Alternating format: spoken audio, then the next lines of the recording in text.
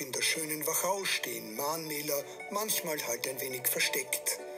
Der Welterbesteig zieht sich wie ein Band zwischen den 13 Gemeinden des UNESCO-Weltkulturerbes Wachau und hoch über Rossatz treffe ich den Künstler Martin Krenn. Ich hoffe, ich stolpere nicht. Ich komme zu Ihnen. Warten Sie, ich komme zu Ihnen hinunter. Es ist leichter. Gott, Hohenlohe. Äh, ich muss sagen, ich bin in der Gegend hier aufgewachsen. Ich habe diesen Platz nicht gekannt und habe auch dieses äh, etwas bedenkliche, etwas sehr bedenkliche Denkmal, das verborgen ist hinter diesem Plakat, gar nicht gekannt. Wie sind Sie überhaupt zu diesem Projekt gekommen? Ja, es ist interessant, dass Sie es äh, nicht gekannt haben, weil es ist doch äh, ziemlich prominent. Also der Welterbesteig ist ja sehr stark frequentiert von Touristinnen, Touristen, Wanderern. Und hier stand eben seit den 1960er Jahren das sogenannte Friedenskreuz St. Lorenz. Mhm. Und bei dem Friedenskreuz ist etwas ganz Eigenartiges, nämlich es heißt Friedenskreuz.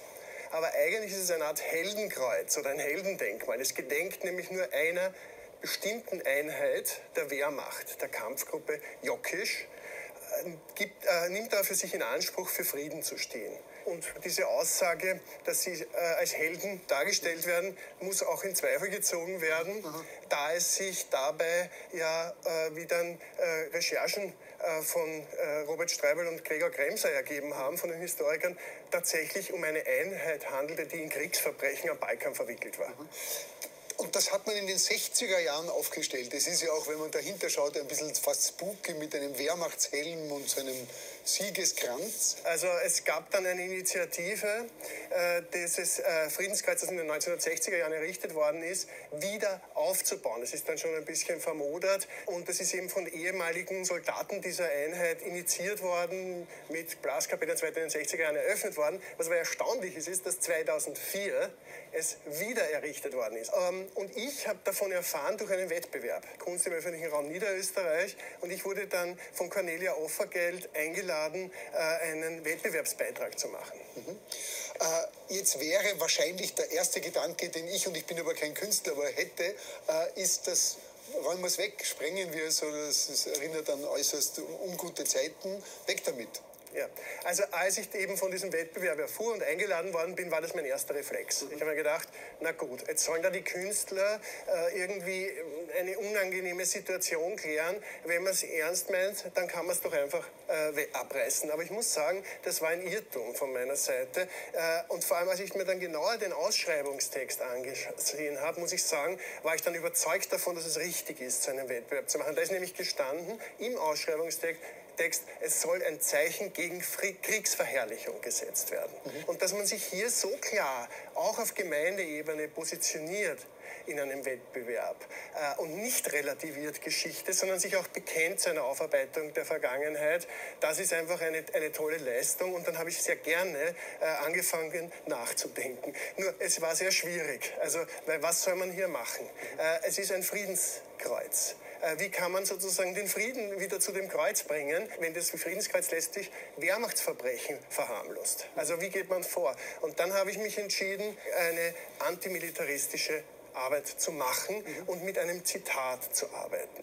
Und zwar mit einem Zitat von einem antifaschistischen Künstler, John Hartfield, ein Dada-Künstler, ein berühmter Künstler, der Erfinder der politischen Fotomontage, der bereits 1933 verwiesen hat auf die Rolle der Wehrmacht im Zusammenhang mit Hitler. Hitler als kleinwüchsiger Gärtner, der die deutsche Eiche, die allerdings brüchig ist, gießt und daraus sprießen dann diese Wehrmachtshelme äh, und, und mit, mit Hakenkreuz teilweise drauf.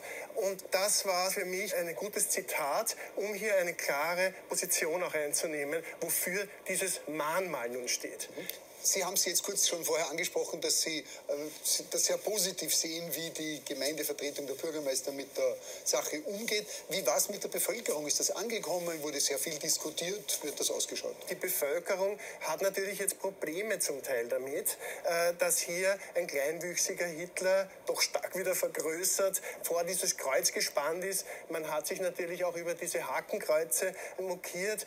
Nur ich denke, es ist auch notwendig, um Diskussion zu initiieren. Also konkret gab es da natürlich schon noch Versuche, das irgendwie jetzt äh, zu übermalen und so. Allerdings gelingt das nicht, weil das sehr gut äh, mit einer Graffiti-resistenten Beschichtung versehen ist, dass man es wieder reinigen kann.